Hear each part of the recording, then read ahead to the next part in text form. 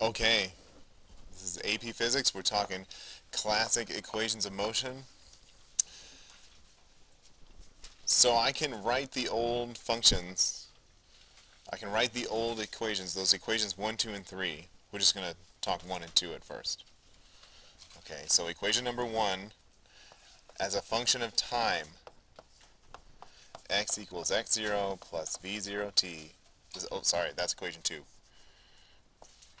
This is the order. This is the order they appear on the AP Physics equation sheet. That's why I number them that, that way. The first one, the second one, the third one. The fourth one is F equals MA, etc. Maybe they need better nicknames. Okay? So, there's number two. If I was going to do something to x, some relationship to get the velocity, so this is position as a function of time, is x of t. It's a function, those other, those other things, acceleration, in honors it had to be constant. In AP it does not, uh, which is why we need the tricks we're about to learn. but we've just got t as our variable, our input you could say, and all the rest are just numbers, labels. If I was going to take x of t and get, if I would take position function and get velocity function, how could I do that?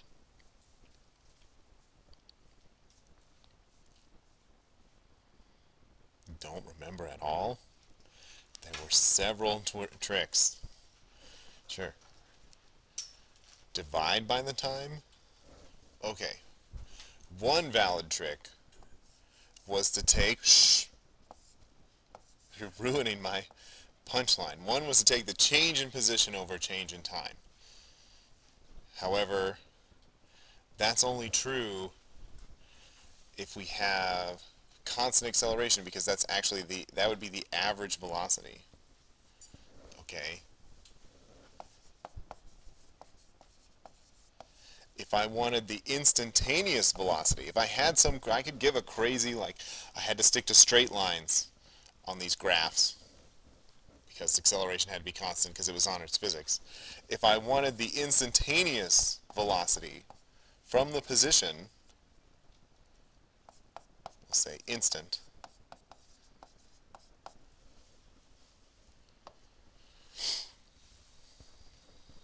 I mentioned it already.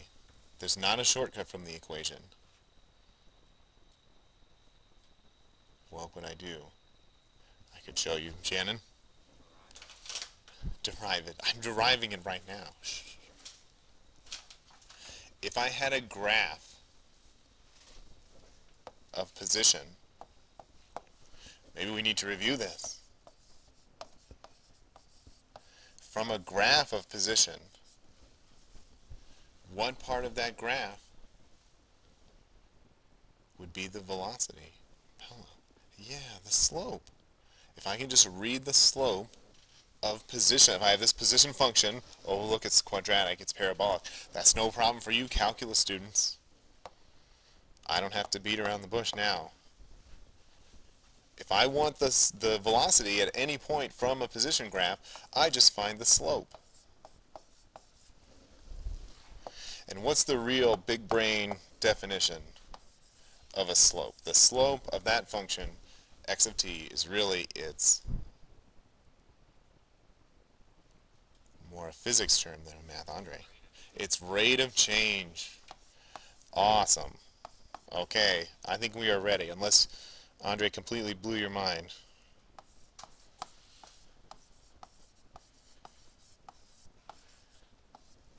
If I want to get from the position function to the instantaneous velocity function, I just need its rate of change. End of story. If I can find that out with algebra, write this down, Peter. Or if I can find it out reading slopes from a graph, it's a good deal. Okay? And I can go from velocity to acceleration, we'll say a bar,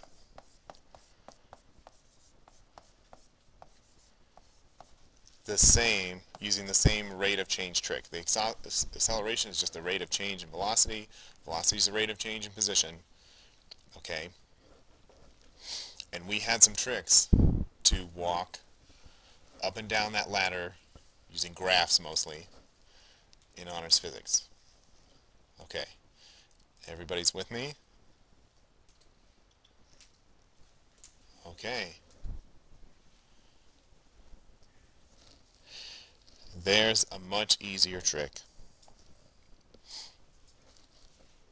Now, do they say taking the derivative in calculus class? BC students who have seen this before? Or do they say finding the derivative? What word do they use? I would say taking. Doesn't matter. It, it doesn't matter. Um, we're going to do a specific case because it's the one we've been working with.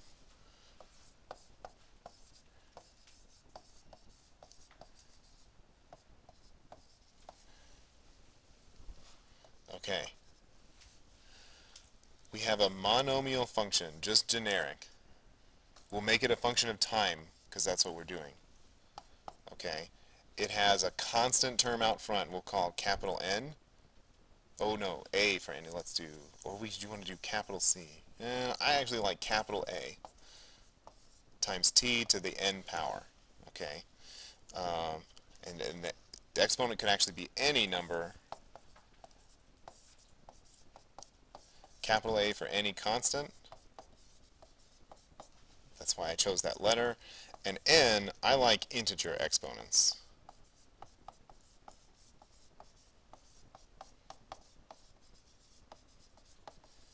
n for any integer. Uh, that will serve us well in physics, even all through AP Physics. Assume the exponents are integers. They don't have to be. But I think in my life I never ran into partial or fraction or complex exponents until college. So, and I've never seen them on the AP physics test. So, okay.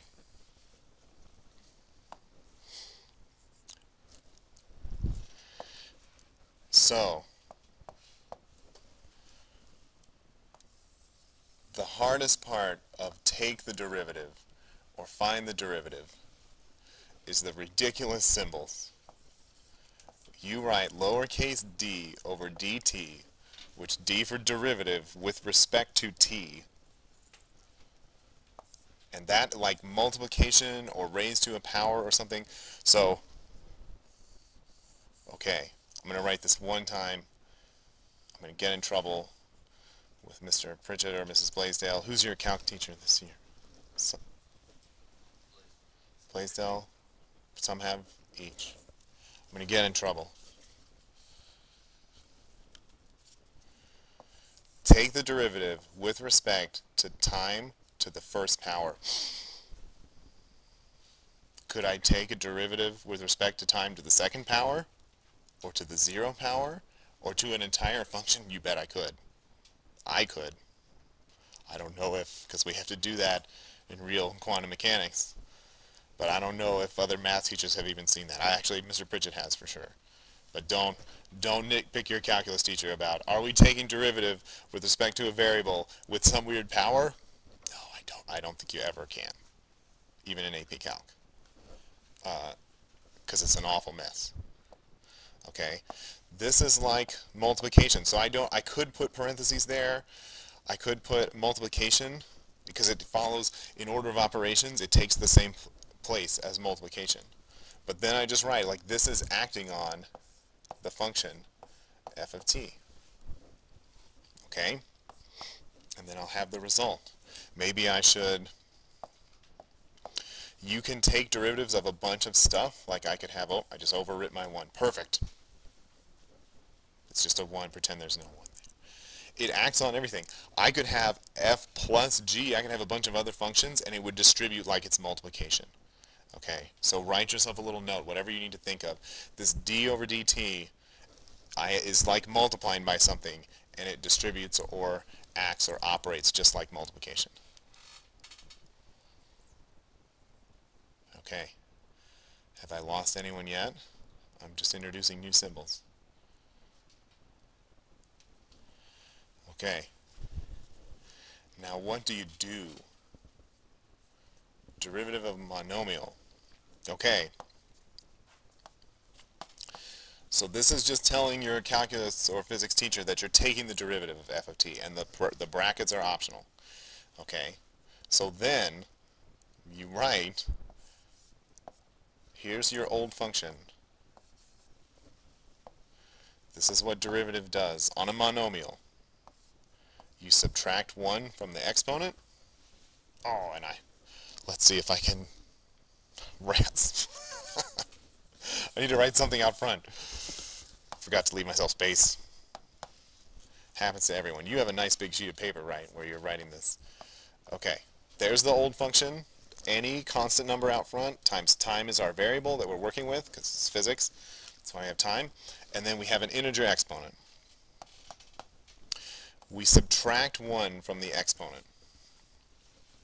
Okay, and then we multiply by the new, is that right? No, we multiply out front by the old exponent. I was thinking too many steps ahead. So we make a new exponent and we multiply the front of the equation out front, this constant a, capital A, we multiply it by the old exponent.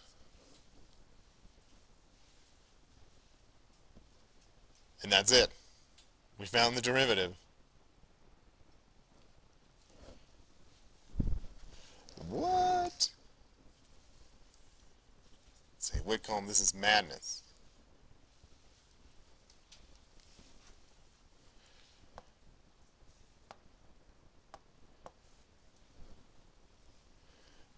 Okay.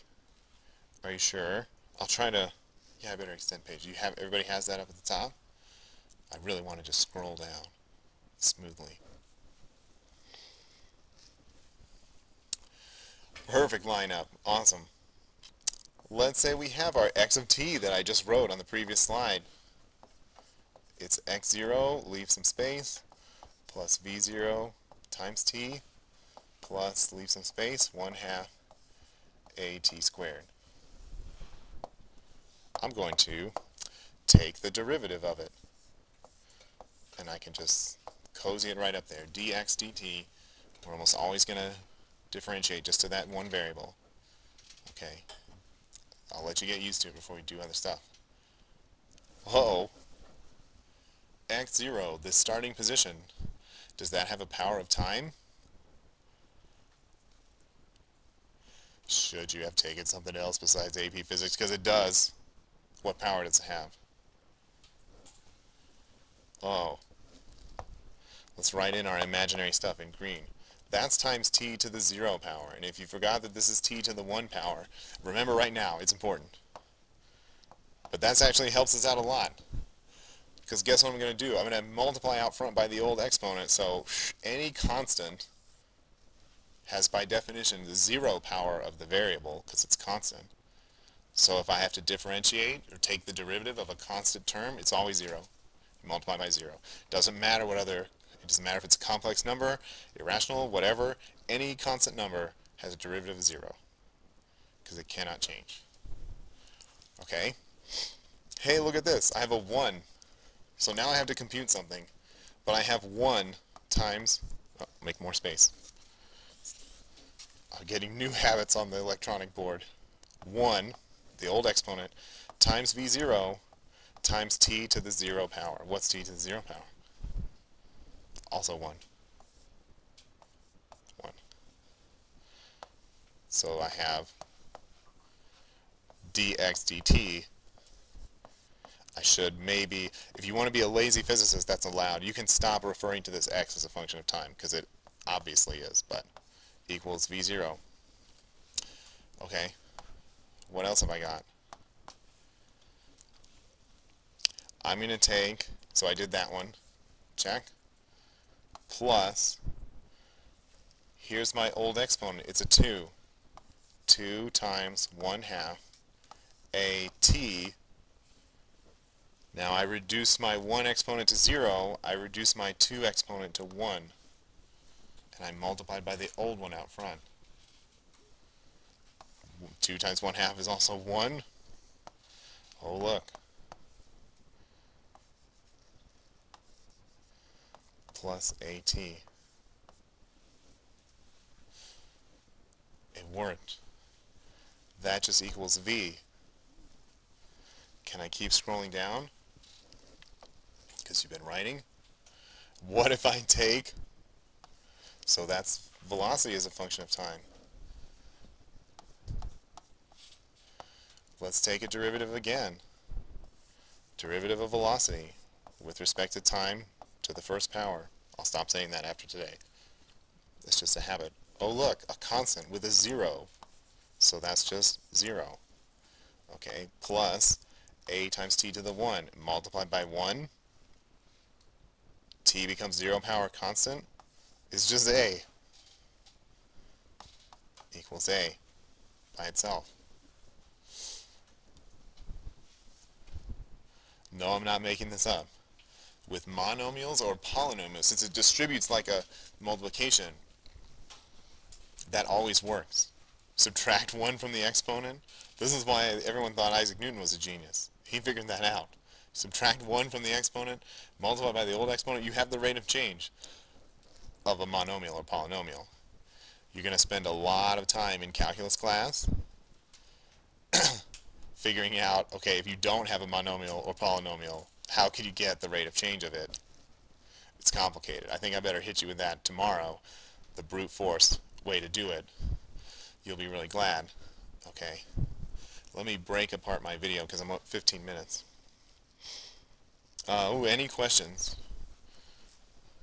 Usually have great ideas. I'd like to record them. No? Okay. Well, we have too much time for it to be all homework time. Today our challenge is... Oh! Challenge for me is to use the technology correctly. Holy smokes. Every day a challenge. Um, no! I'm still recording this. Awesome. Anyway, uh, we're going to reverse that procedure. What do you get if you reverse that procedure? So doing this to position found the velocity which was not you three that have been answering. How about Jeffrey? From position to velocity, what did I have to find? If I do this procedure or our honors procedure from position, velocity is what feature of that position function? It's the slope or the rate of change. Excellent. I found the rate of change. If I do this procedure to the velocity function, I found the rate of change. It's the acceleration. Okay, I better write that. Let me write it in red. Come on. Oh, it's working. It's the rate of change. Okay, so if we're going to reverse it, we would find that's finding the area under the curve, under the graph. Now I can say curve, because we're in calculus.